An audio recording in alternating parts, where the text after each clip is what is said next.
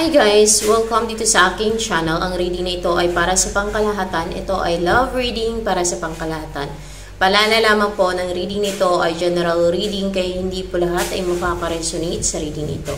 Hopefully ay makuha ko yung energies nyo guys. So let's check your energy.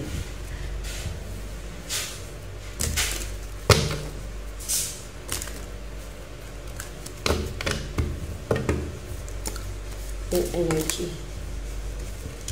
What with the death card? May nangyaring ending. Transformation sa'yo. No? May nag-transform. I mean, ikaw mismo nag-transform ka with the death card dito. Scorpio energy. Yung personality mo dito guys ay parang nandun yung naging ano kayo, eh, nagbago kayo, no? Kasi dumaan ka ng transformation you change a lot, no? Dati ay weak ka or mahina, ngayon ay naging strong ka na. Courageous, brave, no? At mas na, mas na giging uh, fiery, attractive yung personality mo dito. Mas lumakas ka. Mas naging strong ka na person dito. And uh, makikita sa personality mo yung uh, you have gone a lot in life. Kasi dumaan ka ng transformation eh.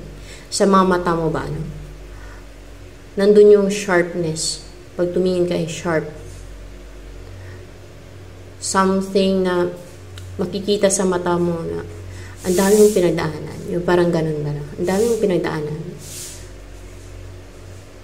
With this card, oh, may mga pinagdaanan ka dito mahirap mga pagsubok na nalagpasan mo. Possible na dumaan ka sa butos ng karayom, yung tinatawag na ganon. Huwag na nating alamin kung ano nangyari sa'yo dito guys, basta nag-transform ka. You're a new person now. Nagbago ka na. No? Madaming changes, madaming nagbago sa'yo. Kailangan yung transformation uh, to improve, no? to better your life, to make it uh, para ma-open yung mga abilities mo na hindi pa na-open. Para mabuksan yung mga innate na mo, no? na meron ka pala. At para mas lalo ka maging strong. Mas lalo ka maging productive. Magawa mo yung purpose mo in this lifetime. Hmm. Masakit, mahirap, matinding pagsubok yung pinagdaanan mo dito with the death card eh. Yung parang nga, para magpakamatay ka na. Mga ganun no, death card din eh. Or else ay baka nagkasakit ka na matindi. Or else ay matinding hirap at emotional turmoil, emotional, napaka-emotional, no? Na parang hindi mo na kaya. Yung ganun, parang susuko ka na sa buhay. Yung mga ganun at times. No? So, let's see. Yung sunod-sunod yung mga problema, sunod-sunod talaga. No? Ano bang reason bakit ka dumaan ng transformation? Ano bang rason dito? Alamin natin. Anong rason? Ah, okay.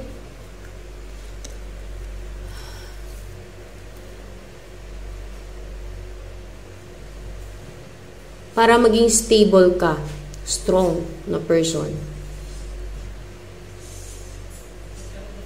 From the King of Wands, you will be embodying the, the Emperor energy.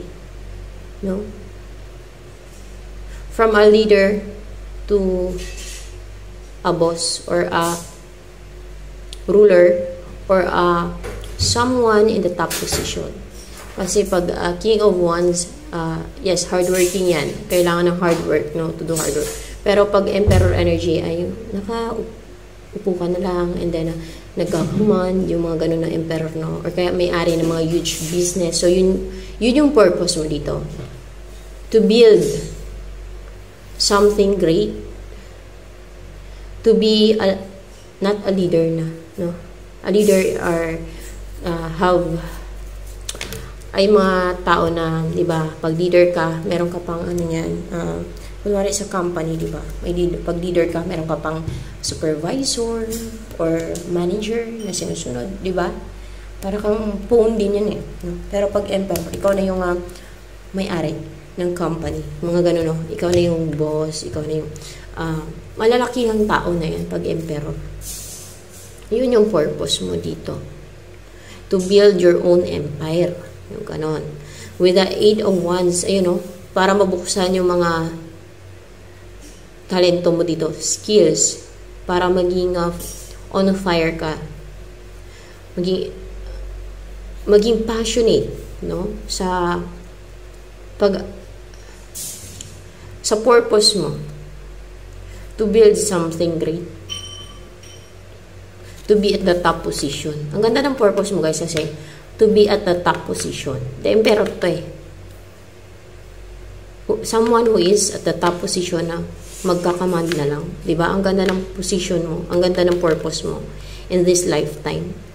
Lucky ka, maswerte ka guys. Pero dumaan ka or dumadaan, still dumadaan ka sa transformation niya.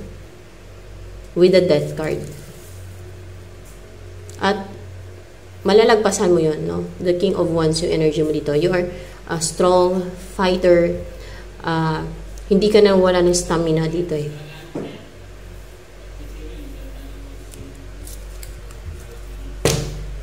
Let's see what's coming for you. What's coming for you?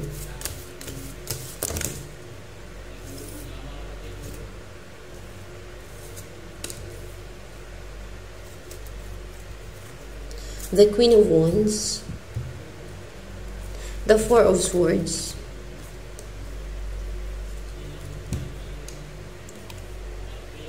someone na naging deceitful dati sa'yo. No? Possible na hiwalay ito sa pamilya or ex-partner mo, ex-person, no? Masaya yung pamilya nyo dati dito if this is your partner. Or else, this is a ex-partner ng iba, no? With the Ten of Cups. Na nagkahiwalay. Nagkaroon ng separation Imbes na happiness ay naging unhappy yung family nitong Queen of Wands na ito. With the Four of Swords, itong uh, person mo na to ay parang uh,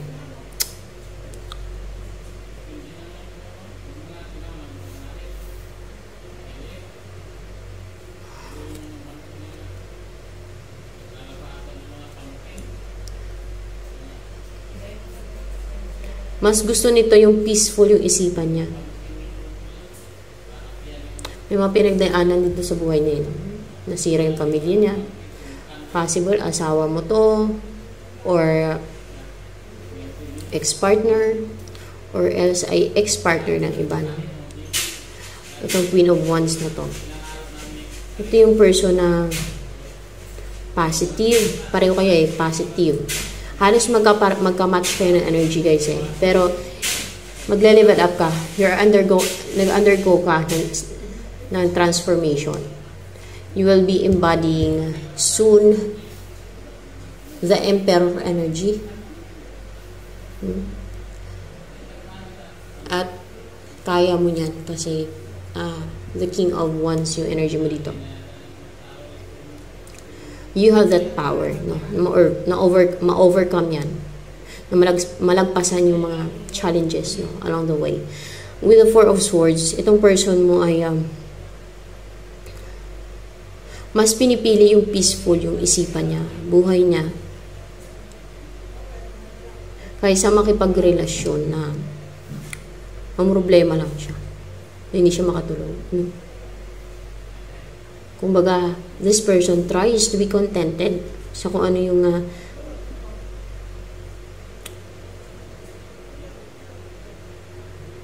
meron siya.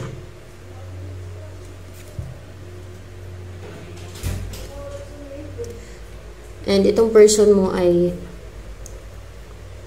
full of positivity, full of inspiration sa mga goals niya.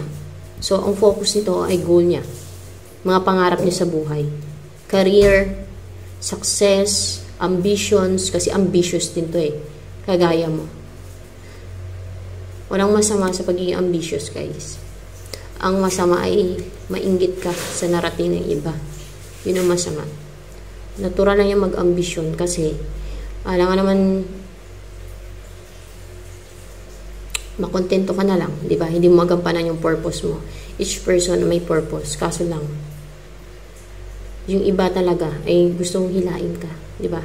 Ayaw nila nga may nakalamang or may, may nakaangat, no? Ayaw nila na may may nagtatagumpay dahil hindi sila matagumpay sa buhay. So, itong person mo, walang makakapigil, kagaya mo, no? Na kahit ano pang uh, pagdaanan ng dago, kahit ano pang pagdaanan na uh, obstacles, challenges, ay patuloy lang, no? At uh,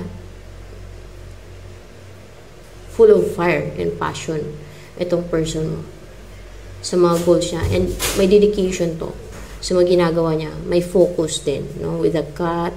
So, possible mahilig to sa cat, no? Sa mga pusa, no?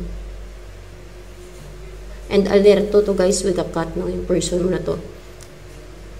Alerto, active, energetic, mabilis kumilos, no?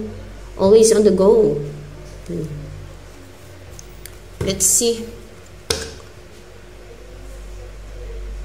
kung ano yung uh,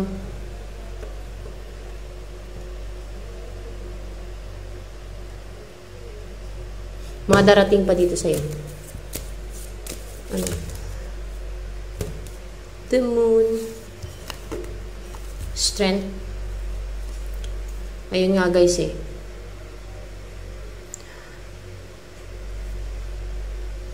May ma-discover ka dito na matagal nang tinago sa'yo. Hindi ko sinabi na sa Queen of Wands na to. Basta may ma-discover ka na matagal nang tinago sa'yo dito. Na you will be stronger and uh, you will find your strength. You will be a strong person. Kasi pagka may mga masasakit na bagay, may mga pinagdadaanan kang mahirap, doon ka mas lalo nagiging uh, strong, di ba? Masakit man, mahirap, parang ikakamatay mo. Lalo na mga emotional na bagay, no? Lalo na pag yung mahal mo ay parang iniwan ka. Doon ka mas lalo ka nagiging strong, di ba? Mm.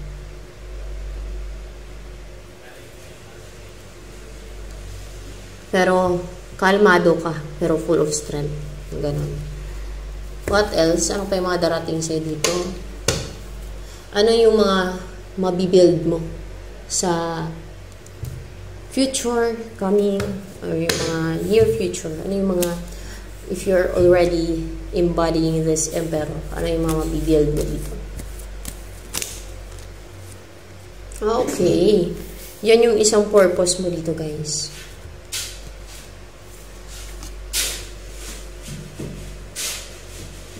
so possible yung trabaho mo dito is sa legal sa justice system pwede din or else ay uh, politician ka. You will, baka ikaw yung person dito na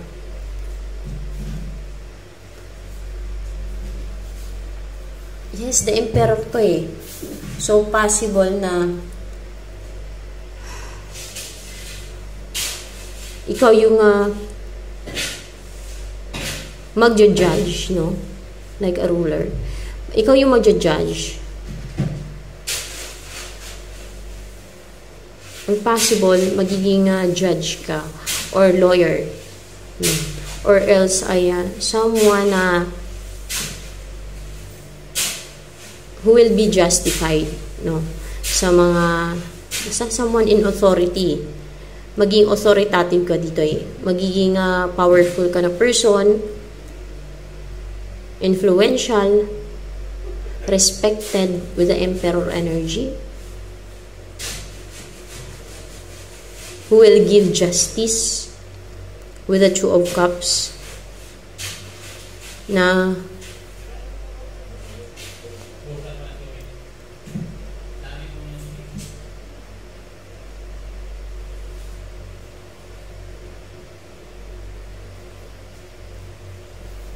na magbibigay ang kaayusan.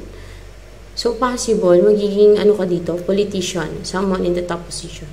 Or else ay mga business owner, mga ganun no, na malaking, malalaking responsibility to guys. Pero tingin ko sa ano talaga to eh. Uh, someone in legal or justice. Basta may mga ganun na trabaho. Yung sa related sa mga ganun no. Or else a politician. Um, magdadala ng kaayusan no, with the two of cups. ano pa, yung ma-purpose mo dito. Let's see yung purpose mo.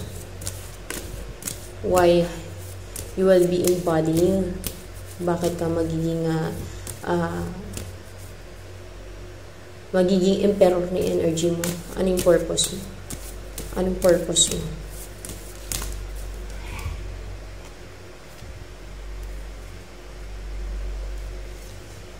Pwede din maging ambassador ka no? Or else with the Seven of Pentacles, na magbigay ng pag-asa, growth, no? improvement, no? mga ganong trabaho, maging ambassador kasi mukhang uh, nasa malayo may kailangan, kailangan may kailangan ng travel, no? or else ay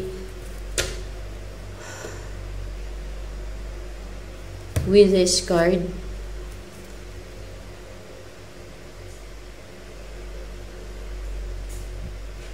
Yun nga guys, na mag-serve ng justice sa mga nasasaktan. Hindi lang sa relationship guys ha.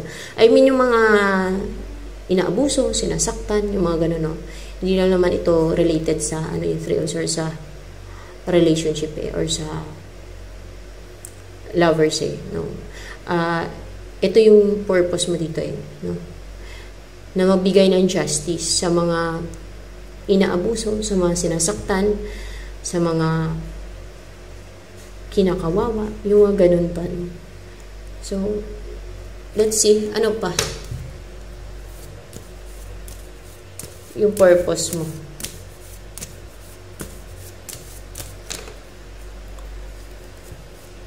Ano yung purpose mo in this lifetime?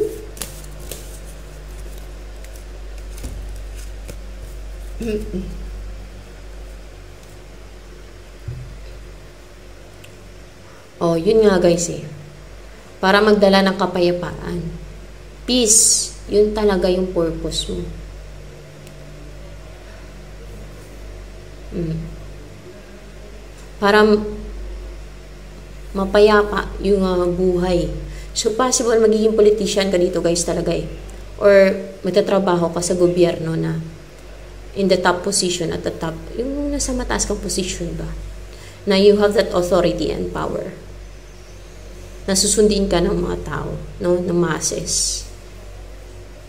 I know, to, na kahit slow but stable ba? Mapaunlad mo yung nasa sakupan mo. Possible magiging politician ka dito eh.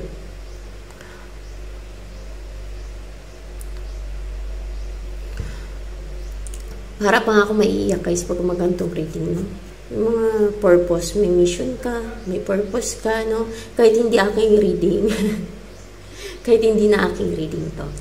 Um, yes, kasi ano to eh, um, malaking purpose mo dito sa mundo to eh. No?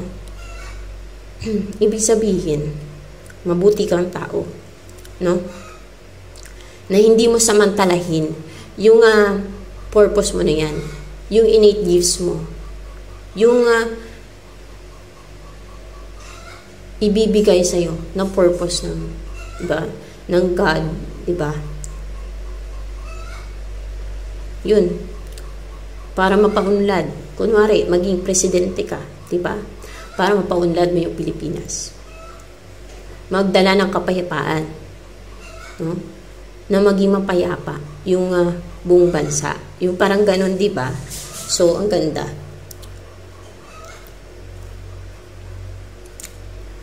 So, ito na lamang para sa ating collective reading ngayon. Sa mga baguhan po dito sa aking channel, please to subscribe. At huwag po ninyong kalimutang i-click ang bell button nang sa ganun ma-notify kayo sa masusunod na videos na upload ko at paki-like naman po at paki-comment na din sa ating comment section box lalo na sa mga nakaresonate sa reading nito.